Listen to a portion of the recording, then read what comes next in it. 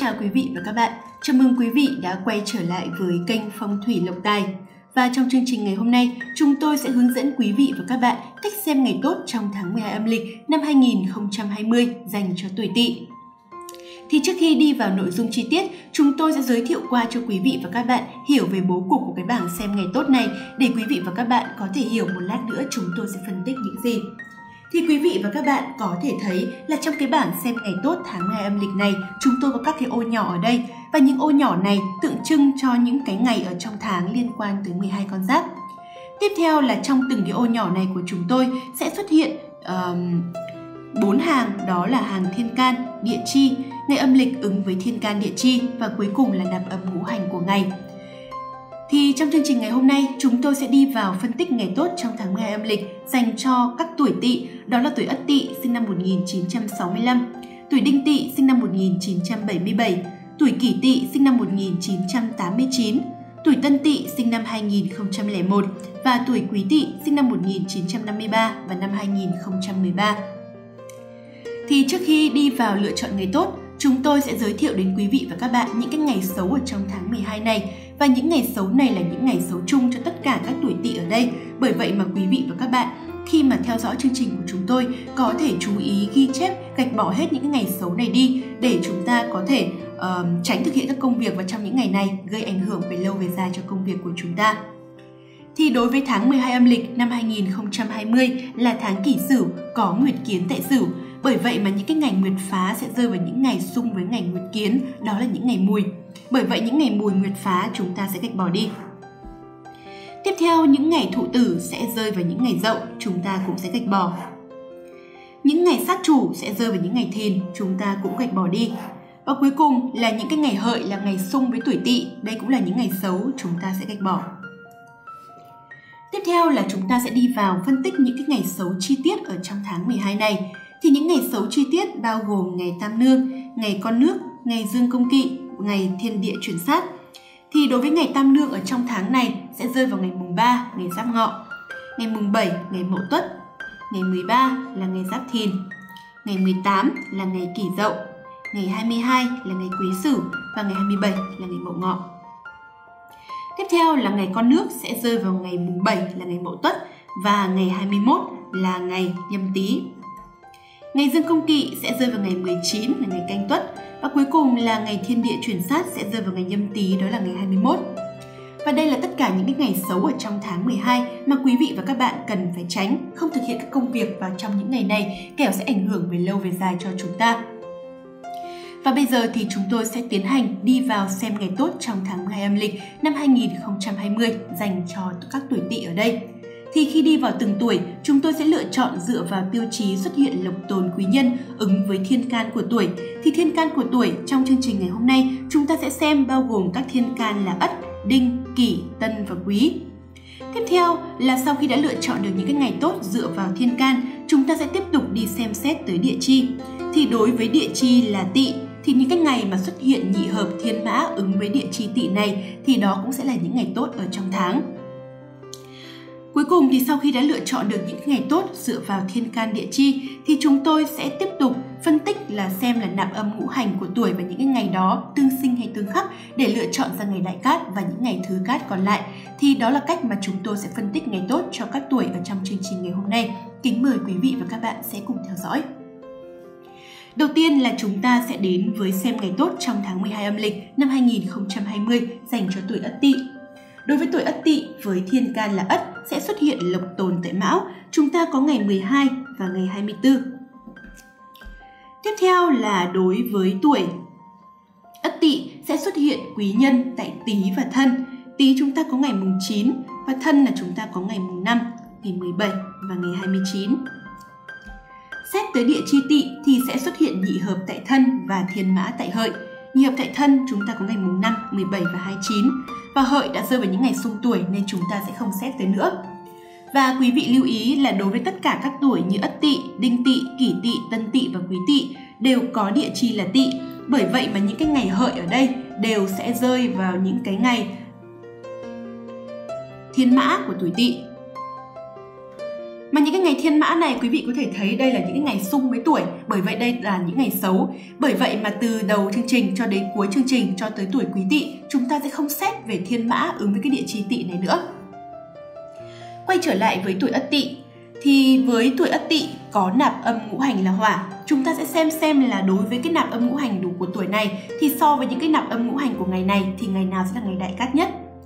Tuổi ất tỵ có nạp âm là hỏa ngày 12 là ngày quý mão nạp âm là kim hỏa khắc chế được kim đây là ngày đại cát ngày 24 ngày ất mão nạp âm là thủy thủy khắc chế hỏa thứ cát ngày mùng 9 ngày canh tý nạp âm là thổ hỏa sinh thổ của ngày thứ cát Ngày mùng 5 ngày Bình Thân nạp âm là hỏa. Hỏa với hỏa, đại cát. Ngày 17 ngày Mậu Thân nạp âm là thổ. Hỏa sinh thổ, thứ cát. Và ngày 29 ngày Canh Thân có nạp âm là mộc, mộc sinh hỏa, đại cát. Đó là những ngày tốt trong tháng 12 âm lịch dành cho tuổi Ất Tỵ. Chúng ta sẽ sang đến với tuổi Đinh Tỵ. Đối với tuổi Đinh Tỵ với thiên can là Đinh sẽ xuất hiện lộc tồn tại ngọ. Ngọ chúng ta có ngày 15, Tiếp theo tuổi đinh tỵ sẽ xuất hiện quý nhân tại dậu và hợi, dậu thụ tử, hợi thiên mã nên chúng ta sẽ bỏ đi. Tiếp theo là ứng với địa chi là tỵ thì sẽ xuất hiện nhị hợp tại thân. Chúng ta có ngày mùng 5, ngày 17 và ngày 29. Và bây giờ chúng ta sẽ đi xem xét về nạp âm ngũ hành của tuổi và ngày. Thì đối với tuổi đinh tỵ, tuổi đinh tỵ có nạp âm là thổ. Ngày 15 Ngày 15 là ngày Bính Ngọ. Ngày Bính Ngọ có nạp âm là thủy, thổ khắc chế được thủy, đại cát. Ngày mùng 5 ngày Bính Thân nạp âm là hỏa, hỏa sinh thổ, đại cát. Ngày 17 ngày Mậu Thân nạp âm là thổ, thổ với thổ, đại cát. Ngày 29 ngày Canh Thân có nạp âm là mộc, mộc lại khắc chế thổ, thứ cát. Tiếp tục, chúng ta sẽ sang tới xem ngày tốt trong tháng 12 âm lịch dành cho tuổi kỷ tỵ với tuổi kỷ tỵ với thiên can là kỷ sẽ xuất hiện lộc tồn tại ngọ. Chúng ta có ngày 15. Tiếp theo là tuổi kỷ tỵ sẽ xuất hiện quý nhân tại tý và thân. Tý chúng ta có ngày mùng 9 và thân là chúng ta có ngày mùng 5, ngày 17 và ngày 29. Tiếp tục là xét tới địa chi tỵ sẽ xuất hiện nhị hợp tại thân. Chúng ta có ngày mùng 5, 17 và 29 ở đây. Và bây giờ chúng ta sẽ đi xem xét ngày đại cát dành cho tuổi kỷ tỵ. Tuổi kỷ tỵ có nạp âm là mộc, ngày 15 ngày bính ngọ nạp âm là thủy, thủy sinh mộc đại cát. Ngày mùng 9 ngày canh thân nạp âm là thổ, mộc khắc chế được thổ, đại cát. Tiếp theo là ngày mùng 5, ngày bính thân có nạp âm là hỏa, mộc lại sinh hỏa của ngày, thứ cát. Ngày 17 ngày mậu thân nạp âm là thổ, đại cát. Và cuối cùng là ngày 29 ngày canh thân nạp âm là mộc, mộc với mộc tương sinh tỷ hòa, đại cát.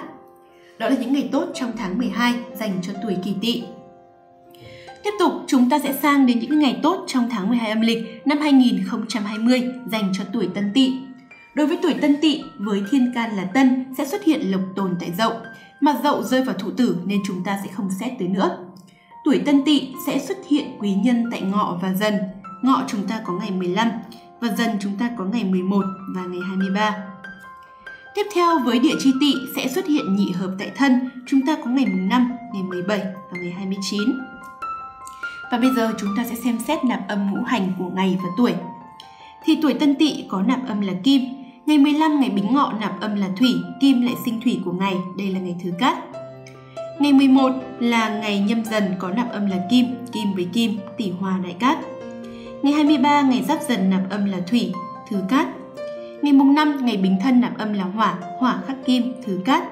Ngày 17 ngày Mậu Thân nạp âm là thổ, thổ sinh kim, đại cát.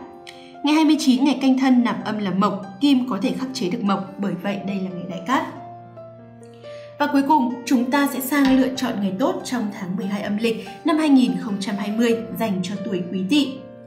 Đối với tuổi Quý Tỵ với thiên can là Quý sẽ xuất hiện lộc tồn tại Tý, chúng ta có ngày mùng 9, nhật Mậu Tý.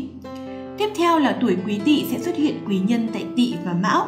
Tỵ chúng ta có ngày mùng 2, ngày 14 và ngày 26. Tiếp theo là mão chúng ta có ngày 12 và ngày 24. Xét tới địa chi tỵ thì sẽ xuất hiện nhị, nhị hợp tại thân. Chúng ta có ngày mùng 5, ngày 17 và ngày 29. Và bây giờ chúng ta sẽ xem xét về nạp âm ngũ hành của tuổi và ngày để lựa chọn ra ngày đại cát nhất. Đối với quỷ quý tỵ có nạp âm là thủy. Ngày mùng 9 ở đây, ngày mùng 9 là ngày canh tý có nạp âm là thổ, mà thổ lại khắc chế thủy, đây là ngày thứ cát. Tiếp theo là ngày mùng 2, ngày mùng 2 là ngày quý tỵ có nạp âm là thủy, thủy với thủy, đại cát. Ngày 14 ngày ất tỵ có nạp âm là hỏa, thủy khắc chế hỏa của ngày, đại cát. Ngày 26 ngày đinh tỵ có nạp âm là thổ, thổ khắc chế thủy, thứ cát. Ngày 12 là ngày quý mão nạp âm là kim, kim sinh thủy, đại cát. Ngày 24 ngày ất mão nạp âm là thủy, đại cát. Ngày mùng 5 ngày bính thân nạp âm là hỏa, đại cát. Ngày 17 ngày mậu thân có nạp âm là thổ, thứ cát. Và cuối cùng là ngày 29 ngày canh thân có nạp âm là mộc, đây là ngày thứ cát. Và kính thưa quý vị, chúng tôi đã lựa chọn được cho quý vị và các bạn tuổi Tỵ những cái ngày tốt trong tháng 12 âm lịch dành cho tuổi Ất Tỵ, Đinh Tỵ, Kỷ Tỵ, Tân Tỵ và Quý Tỵ.